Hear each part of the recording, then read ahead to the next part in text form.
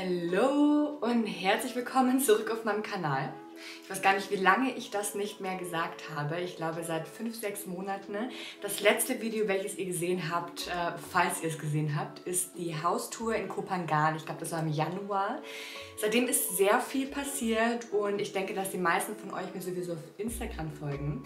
Und ich muss ganz ehrlich sagen, ähm, bisschen weird gerade zu sprechen vor dieser Kamera, aber irgendwie auch nicht. Ähm, YouTube ist so mein Baby, würde ich sagen. Ich habe mit YouTube angefangen, ich glaube vor sechs Jahren. Ich wollte YouTube nie aufgeben, das war nie meine Intention. Jedoch habe ich mich in den letzten Monaten immer weniger mit der Plattform identifizieren können. Aber ich versuche hier mit einem kleinen Neustart auf YouTube. Starte mit einem Live-Update wieder rein. Ich denke, das äh, ist dringend notwendig und dafür finde ich YouTube tatsächlich super, weil ich kann jetzt einfach drauf loslabern, ohne dass ähm, ich geskippt werde vielleicht. Vielleicht skippt ihr mich ja, aber vielleicht auch nicht. Also, es ist viel passiert in den letzten Monaten und ähm, jeder, der mir auf Instagram folgt, weiß, wir waren in Thailand, dann waren wir auf Bali. Wir waren insgesamt fast fünf Monate unterwegs, jedoch nur in zwei Ländern, weil mein Freund wirklich stark gesundheitliche Probleme hat, das jetzt schon seit fast drei Jahren und uns das jeden Tag richtig, richtig stark beeinflusst. Ihn selbstverständlich, er ist derjenige mit dem Problem aber mich als Partnerin natürlich auch. Und ich muss ganz ehrlich sagen, ich möchte, es steht mir überhaupt nicht zu, über seine Krankheit zu sprechen. Ähm, es ist nichts Lebensbedrohliches. Wir haben darüber auch schon mal in unserem englischen Kanal gesprochen. Ich kann euch das Video gerne unten verlinken. Das ist aber schon wieder nicht Stand der Dinge, das ist auch schon Ewigkeiten her. Er hat, ein, er hat ganz viele Probleme unter anderem eine ähm, Fehlbesiedlung des Mikrobioms im Darm, im Dickdarm sowie im Dünndarm. Und es hört sich vielleicht ganz leicht an, wieder, wieder zu regeln, jedoch sind Probleme mit dem Darm tatsächlich sehr hartnäckig und er tut mir wahnsinnig leid, denn die Krankheit, die er hat, als Symptom kommen zum Beispiel Angstzustände, starke Depressionen und die sind natürlich in Behandlung. Also ich rede von wir, oh Gott, wir sind schon so eine Kappe, dass ich wir sage, aber irgendwie ja, wir, er. Ähm, und wie gesagt, ich möchte gar nicht auf seine Krankheit drauf eingehen, weil mir das überhaupt nicht zusteht. Und ich weiß von ihm, dass er, sobald das besser wird, es muss auch nicht mal weg sein, er möchte ganz vielen Menschen helfen und ähm, drüber sprechen und aufklären. Und das ist auf jeden Fall ganz, ganz oben auf seiner To-Do-Liste, sobald es ihm besser geht. Sprich, ihr werdet irgendwann auf jeden Fall aus seinem Munde erfahren, was los war oder ist oder was er genau hat. Das dazu. Ich habe jedoch auf Instagram letztens eine Story über Mental Health gemacht. Um ehrlich zu sein, hatte ich einen kleinen Mental Breakdown in meiner Instagram-Story und dachte, jetzt muss ich euch eigentlich auch mal diese Seite meines Lebens zeigen, weil so sieht es tatsächlich so, ich würde sagen, 70 Prozent jeden Tag bei mir aus. Ähm, es ist für mich super schwer, damit umzugehen, weil es eben jetzt schon jeden Tag und auch schon sich über so viele Jahre hinweg zieht. Ich habe ihm zu seinem 30. Geburtstag eine Reise nach Italien geschenkt, eine ganz besondere für ihn. Hat sich auch unglaublich doll gefreut und ähm, mussten die Reise aufgrund seiner Darmprobleme leider abbrechen, nach zwei Nächten schon. Und ähm, irgendwie war das viel zu viel für mich zum Handeln und hatte einen kleinen Mental Breakdown öffentlich. Normalerweise habe ich den behind the camera. Das dazu und ich möchte euch eigentlich damit auch nur zeigen, dass es, äh, ich glaube, mein Leben sieht immer sehr, ach geil, alles supi, kunterbuntes, happy, hippie Lifestyle, hier mal da in Thailand, da mal in Bali. Ähm, lebt ihr Leben. Ähm, jedoch hat es auch genauso in Thailand ausgesehen. Nur habe ich es nicht gezeigt, weil es eigentlich gar keinen angeht. Äh, weil es eben nicht mein Problem ist. Es ist sein Problem und ich finde, man zeigt schon sowieso so viel auf Social Media und ähm, sowas zeigt man nicht. Vor allem nicht, wenn es nicht um mich geht. Wisst ihr, was ich meine? Das ist ja, das steht mir einfach überhaupt nicht zu und ich weiß, dass er das auch nicht wollen würde. Ich möchte allerdings viel, viel mehr und offen über das Thema Mental Health sprechen, weil ich das eben 24-7 mitbekomme, wie schlimm das ist, wenn man psychische Probleme hat. Mit herkommend mit einer Krankheit als Symptom, so wie bei ihm, oder ob man wirklich an Depressionen leidet.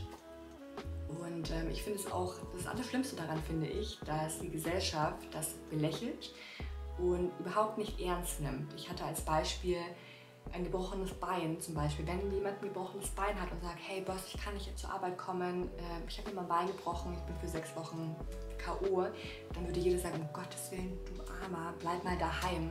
Oder auch wenn man in unserer jetzigen Zeit sagt, oh, ich hatte eine Corona, einen Corona-Kontakt vor zwei Tagen, ich komme mal lieber nicht, ne?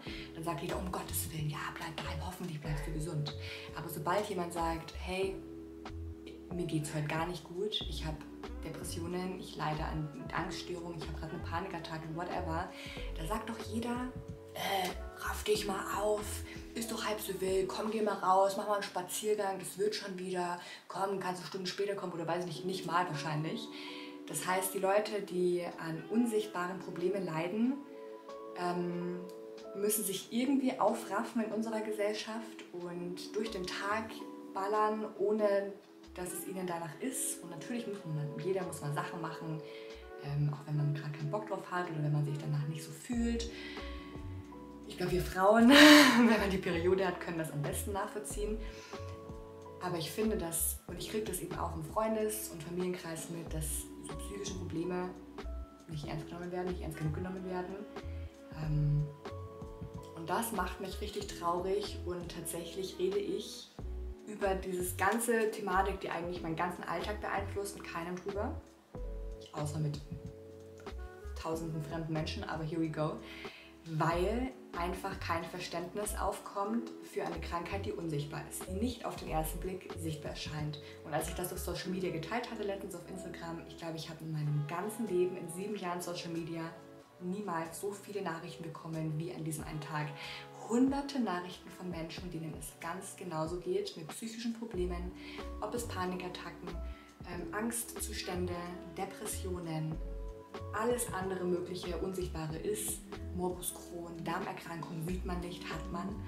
Ähm, und mich hat das so erschrocken, dass ich gleich noch mehr geheult habe, weil so viele, so viele Seelen da draußen an Problemen leiden, die keiner ernst nimmt. Und ich dachte, wir müssen jetzt hier mal ein bisschen drüber aufklären und öffentlich darüber sprechen, dass es öfter existiert, als man vielleicht denkt und ein bisschen Awareness darüber schaffen, dass ähm, die Gesellschaft auch das einfach auch mal ernst nimmt und annimmt. Es kann nicht sein, dass wir im 21. Jahrhundert immer noch denken, okay, Augen zu und durch, ich schaffe das schon, obwohl man eigentlich am liebsten sich im Bett verkrümelt und es einem einfach überhaupt nicht gut geht psychisch.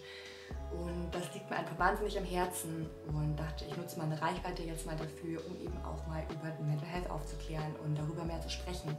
Wie gesagt, ich möchte nicht über seine Krankheit sprechen, aber es geht euch nichts an, es geht mich nichts an. Das ist nur so ein kleiner Aufhänger, warum ich mich eben sehr gut in so etwas reinfühlen kann. Und mir persönlich geht es keinen Tag, schon sehr lange, nicht mehr hundertprozentig super.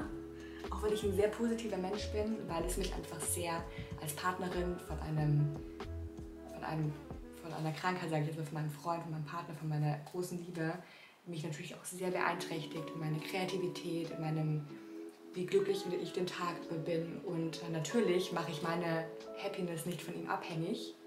Wobei vielleicht ein bisschen, aber es ist total normal. Ähm, aber ihr müsst mir vorstellen, wobei ich denke, dass ganz, ganz viele dieses Problem auch haben oder in dieser Situation stecken, dass wenn man eben 24-7 in so einer Situation ist, dass es einfach, wie kann man denn da glücklich sein, wenn man den Partner so leiden sieht? Ich kann es nicht. Ähm, genau, das ist so ein bisschen los bei mir im Leben, Live-Update und ganz ehrliches Behind the Scenes. Ähm, und genau, die Reise war auch alles andere als wie geplant. Und auch wenn Thailand und Bali immer so super happy aussahen, waren es war es auch nicht. Ich würde sagen, so zu 70, 80 Prozent sah es dort genauso aus wie hier. Also einfach nicht gut, ihm ging, er hat Darmprobleme. Ähm, die sind auch nicht weg, wenn wir nach Thailand gehen. Und ähm, apropos Darmprobleme, wusstet ihr, dass fast 80 Prozent, das ist so die Info, die ich habe, von Menschen, die wirklich an Depressionen leiden, eigentlich der Root Cause Darm, der Darm ist. Ihr müsst euch vorstellen, unser Darm, da haben wir über 100 Millionen Nervenzellen. Das geht sehr gleich einher mit dem Gehirn kann gerade gar nicht gut erklären, aber ich hoffe, ihr wisst, was ich meine. Und der Darm und das Gehirn sind miteinander verbunden. Sprich, wenn ihr Darmprobleme habt, wirkt sich das auch auf eure Psyche aus und auf eure komplette Gesundheit, also psychische Gesundheit, mentale Gesundheit, äh, körperliche Gesundheit. Und deswegen rede ich auch gerne über Darmprobleme, ähm, weil wenn man auf den Darm nicht acht gibt, kommen eben Symptome einher können, wie Depressionen, Angstzustände und eben ja, psychische Symptome, sage ich jetzt einfach mal. Und ähm, ich finde, man muss auch unterscheiden zwischen wirklich Depression und einer depressiven Phase, durch die irgendwie jeder mal in seinem Leben geht. Es ist nicht immer alles ähm, hier Ponyhofleben. Jeder hat mal im Leben bestimmt ein, zwei oder auch öfter mal eine depressive Phase. Aber wirklich Depressionen, ich glaube, ähm, also das muss man auf jeden Fall einen Unterschied bewahren. Jetzt wisst ihr, was so ein bisschen abging die letzten Monate oder auch die letzten Jahre. Und das mal aus Sicht von einer Person, die nicht an Depression leidet, aber die eben mit jemandem lebt, bei dem Depressionen ganz oben an der Tagesliste stehen als Symptom einer Darmerkrankung. Und mir haben auch ganz viele von euch geschrieben, die Morbus Crohn haben zum Beispiel. Das hat er jetzt zum Glück nicht oder ich weiß nicht, ob man zum Glück sagen kann, ja wahrscheinlich. Ähm, die auch einhergehen mit äh, an Depressionen leiden. Und es ist wirklich ganz schlimm, eure Nachrichten gelesen zu haben und eure Geschichten zu hören. Und bin auch sehr dankbar, dass ihr das mit mir geteilt habt. Aber das hat mich jetzt eben irgendwie ermutigt, jetzt auch mal wieder hier auf YouTube zu, zu sprechen, weil ich hier einfach ohne Punkt und Komma sprechen kann, ohne dass ich direkt wieder eine Story und so weiter, ne? ihr wisst Bescheid. Genau, das dazu. Wenn ihr Videowünsche habt, lasst mich das gerne in den Kommentaren wissen. Ähm, diese typischen Beauty-YouTube-Videos, ich glaube, das haben wir uns schon von entfernt vor drei Jahren. Das gibt es bei mir nicht mehr. Aber ja, das Thema Spiritualität, Gym, ähm, einfach mein Alltag. Ich meine, ihr seht immer das, was mich gerade beschäftigt in meinem Leben. Ich teile mein Leben mit euch und ähm, genau so hat sich das auch entwickelt die letzten Jahre. Das dazu. Wer mir auf Instagram noch nicht folgen sollte, der kann das gerne nachholen. Sarah Isabel heiße ich dort. Auf TikTok werde ich gerade auch immer aktiver. Ich finde TikTok mittlerweile eine tatsächlich sehr coole Plattform. Und verabschiede mich jetzt hiermit mal bei euch. Ich hoffe, euch hat das kleine Real Talk Live Update gefallen. Ähm, vielleicht versteht ihr, warum ich mich jetzt mal ein paar Monate hier nicht gemeldet habe. Es ist einfach viel los und auch wenn man es vor der Kamera nicht so sieht, es ist viel los hinter der Kamera. Das kann man sich auf jeden Fall, das kann man auf jeden Fall glauben.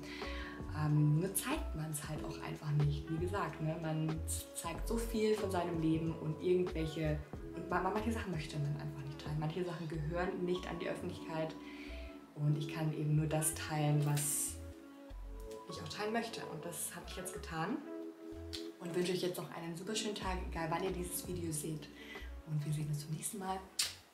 Bis dann. Ciao.